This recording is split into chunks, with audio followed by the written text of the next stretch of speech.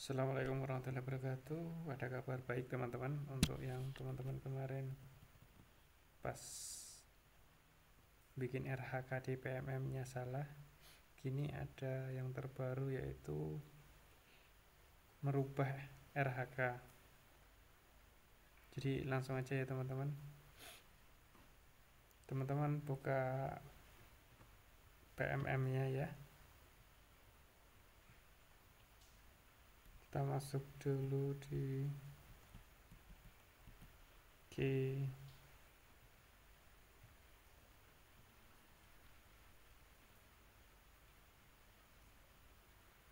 masih loading nah teman-teman nah bagian RHK ya.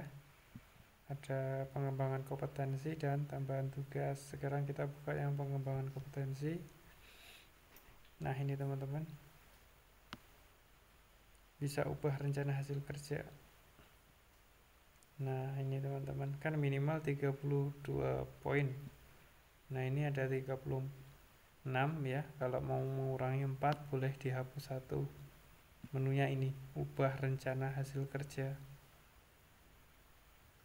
Ini baru ya teman-teman. Nah di sini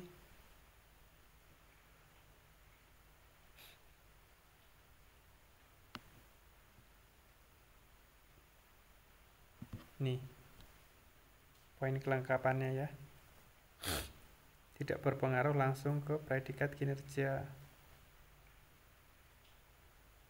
Poin kelengkapan dokumen tidak berpengaruh langsung ke predikat kinerja. Oke. Jadi ini harus dipastikan konfirmasi dengan kepala sekolah dulu ya teman-teman. Misalnya ini kelebihan atau mungkin diambil yang kira-kira kurang pas lah. Atau mungkin sudah 32 sudah pas tapi pengen salah salah memilih dan pengen dibenarkan lagi bisa. Ya. Jadi ini kesempatan ya teman-teman. Daripada teman-teman kemarin melakukan kesalahan dan sulit untuk mencari bukti dukungnya mendingan RHK nya dirubah. Klik di sini nanti teman-teman akan memilih RHK lagi. Ya informasi ini teman-teman. Mudah-mudahan membantu. Wassalamualaikum warahmatullahi wabarakatuh